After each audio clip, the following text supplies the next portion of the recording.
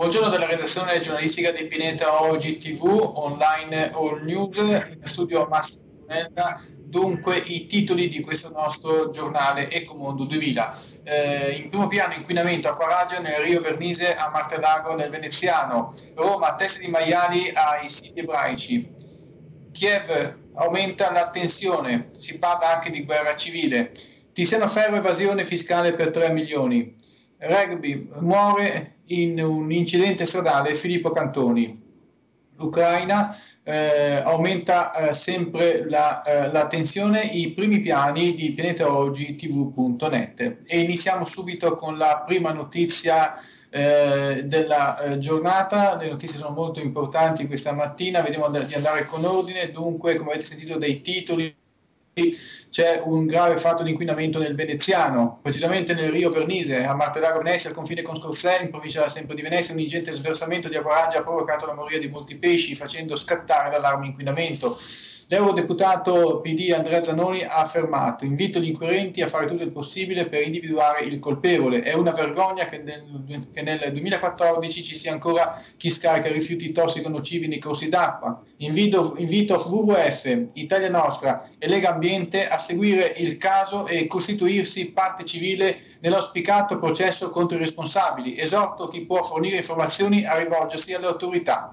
A Martellago dunque entriamo nella notizia, eh, siamo praticamente al confine con Scorsè. Nel Rio Vernise i residenti hanno dovuto assistere a una strage di pesci dovuta ad uno sversamento di acquaraggia, sostanza fortemente tossica. Dalle prime analisi dell'Agenzia regionale per la prevenzione e protezione ambientale Acquav del Veneto, la sostanza incriminata sarebbe appunto acquaraggia molto usata a scopi industriali. Da un ulteriore prelievo dell'acqua contaminata sono emerse inoltre tracce di solventi e idrocarburi eh, policiclici, scusate, policiclici aromatici.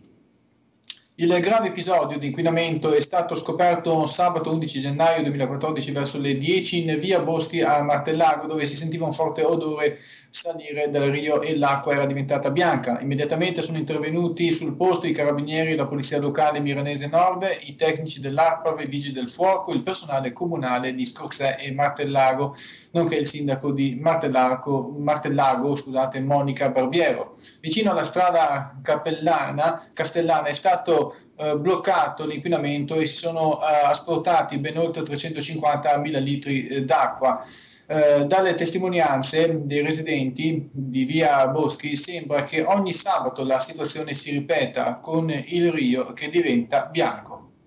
L'eurodeputato Andrea Zanoni, membro della Commissione Envi Ambiente, Salute Pubblica e Sicurezza Alimentare e vicepresidente dell'Intergruppo eh, per il benessere e la conservazione degli animali al Parlamento europeo, ha affermato invito gli inquirenti a fare il possibile per individuare il colpevole. Non è accettabile che nel 2014 ci sia ancora chi scarica rifiuti tossico-nocivi nei corsi d'acqua. Esorto WWF, Italia Nostra e Lega Ambiente a seguire il caso e costituirsi parte civile nella auspicato processo contro i responsabili. A questo punto bisogna confrontare i componenti inquinanti rilevanti, rilevati nelle analisi delle acque contaminate con i prodotti utilizzati nelle attività esistenti nell'area da dove eh, si sospetta arrivi l'inquinamento. L'acqua è un bene prezioso e non possiamo considerare i nostri fiumi come discariche. Tutte le sostanze che eh, vi vengono riversate eh, finiscono in Adriatico o nei campi tramite l'irrigazione e pertanto tutti i cittadini cittadini con il tempo se li ritrovano più o meno direttamente sul piatto, nel rubinetto di casa o nelle spiagge al mare. Questi delinquenti vanno individuati e assicurati alla giustizia. Invito chi può fornire informazioni a rivolgersi alle autorità, così appunto l'invito di Andrea Zanoni ambientalista, noto ambientalista di Treviso ed europarlamentare. Dunque, veniamo all'Italia per un uh, grave fatto. Uh, Roma, ancora episodi di intimidazione a Roma nei confronti della comunità ebraica. Due teste di maiale sono state recapitate in due eh, distinti pacchi al museo di Piazza Sant'Egidio, che ospita una mostra sulla cultura ebraica, e all'ambasciata israeliana, dove è stato però intercettato dalla polizia. Ieri analoga consegna era stata fatta alla sinagoga indaga, indaga la Digos e solidarietà dal Premier Letta che ha telefonato al presidente della comunità ebraica di Roma. Di nuovo all'estero Kiev, il presidente ucraino Viktor Yanukovych ha offerto ai leader dell'opposizione le cariche di premier e vice premier. Lo riporta il sito web della presidenza. Yanukovych è stato eh, detto anche pronto a rivedere la Costituzione in senso più pluralista. Abbiamo un aggiornamento che ci viene proprio in questo momento, sempre da Kiev, manifestanti anti governativi hanno occupato Casa Ucraina, un grande edificio pubblico, sede di mostre e conferenze. Hanno costretto circa 200 poliziotti ad abbandonare lo stabile si, che si trova in centro eh, città, nella piazza centrale, cuore della protesta europeista e antigovernativa. Davanti all'ingresso i manifestanti hanno eretto una barriera ammassando sacchi di neve. Ecco, a tale proposito ricordo che tra qualche ora, eh, penso in serata, oramai in tarda serata su pianetaogitv.net ci sarà un eh, commento eh, di Giulietto Chiesa, eh, europarlamentare, eh, che mh, viene intervistato dalla televisione ucraina. Dunque, proseguiamo il nostro giornale radio. Tiziano Ferro, la Commissione tributaria regionale del Lazio ha respinto il ricorso di Tiziano Ferro e confermato la sentenza di evasione fiscale per circa 3 milioni di euro. L'accusa per il cantante si riferisce agli anni tra il 2006 e il 2008, pur avendo trasferito la sua residenza a Londra. Ferro non ha trascorso fuori Italia il tempo necessario a rendere effettivo il trasferimento. Abbiamo una notizia anche di sport questa mattina, ma purtroppo triste. È morto a 18 anni per incidente stradale Filippo Cantoni, promessa del rugby italiano. La sua auto, per motivi in corso di sfruttamento, è uscita di strada e si è ribaltata più volte lungo il canale Naviglio a Colorno, in provincia di Parma. Filippo Cantoni, cresciuto nel rugby eh, Calorno, dove il padre è stato dirigente per anni, la scorsa stagione aveva indossato la maglia numero 10, mediano d'apertura per la nazionale Under 18. Quest'anno giocava in A1 per l'Accademia Nazionale Ivan Francescato. Numerosi i messaggi di cordoglio dal mondo del rugby, dal presidente della federazione Giavazzi e dal club di Calorno. Abbiamo ancora un aggiornamento dall'Ucraina. La rivolta sta ora interessando tutto il paese, soprattutto nell'ovest filo occidentale. 11 su 25 le regioni in cui i palazzi del potere locale sono in mano ai manifestanti, con la polizia che a volte si è anche schierata dalla loro parte o non è intervenuta. Occupati a Kiev i ministeri dell'energia e dell'agricoltura.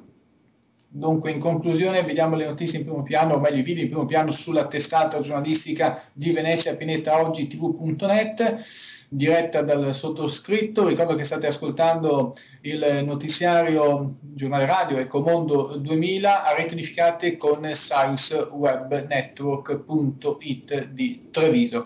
Dunque, in primo piano abbiamo eh, Pianeta Oggi Report, il nostro settimanale che viene poi anche ripetuto nella, nel settore televisivo di Science Web Network eh, dunque c'è un'intervista a un personaggio molto noto, lui è il um, capitano Ferruccio Falconi, amante e tutore del mare, così viene eh, definito. Eh, pensate che ha condotto 32.000 pilotaggi in laguna, eh, oltre ad aver anche eh, pilotato eh, varie eh, petroliere. È molto esperto nella tecnica eh, del mare, de- della laguna e ci dà delle informazioni che potrebbero anche essere interessanti. Poi a seguire abbiamo un no comment, c'è un intervento di Giulietto Chiesa con un documento importante in mano, non vi annuncio niente, andate dentro alla testata e vedete di cosa si tratta, pinetaogitv.net. Poi a seguire ehm, abbiamo eh, praticamente un'intervista eh, esclusiva a Pier Giorgio eh, Caria, eh, come sapete è un eh, documentarista, reportagista, esperto in ufologia ma non solo, in realizzata in collaborazione con il sito eh, iconicon.it di Brescia. A seguire eh, abbiamo un altro editoriale di Giulietto Chiesa, poi ancora eh, delle, mh, mm, degli editoriali, degli articoli eh, su quanto per quanto riguarda la tensione che c'è a Palermo, come sapete ci sono delle minacce da parte di Totorina nei confronti eh, dei magistrati antimafia. Eh, qui vi ricordo questo editoriale Una strage per colpire Di Matteo, riflettori puntati su Rina e lo russo e quindi qui potete leggere. Infine, poi ancora Rina, uccidiamo i bambini come Sarajevo, eh, la, la, verità ad ogni costo di Miriam Cuccu eh, sempre ehm, articoli editoriali eh, strapolati dalla testata giornalistica All News antimafia2000.com. Poi abbiamo anche il notiziario verde di Andrea Zanoni dove c'è un po' eh, tutto riassunto tutte le notizie e iniziative eh, riassunte per quanto riguarda la tutela dell'ambiente. Vediamo se abbiamo degli ultimi aggiornamenti eh, dell'ultimo minuto, anche puntando anzi soprattutto l'attenzione su Kiev, vediamo, no, non abbiamo più aggiornamenti, è tutto per il momento, dunque non mi resta che restituire la linea a Treviso per il proseguo dei programmi musicali di siteswebnetwork.it, un saluto anche alla regia centrale a Rosario Moreno, da Massimo Bonella l'augurio di una buona giornata a voi tutti.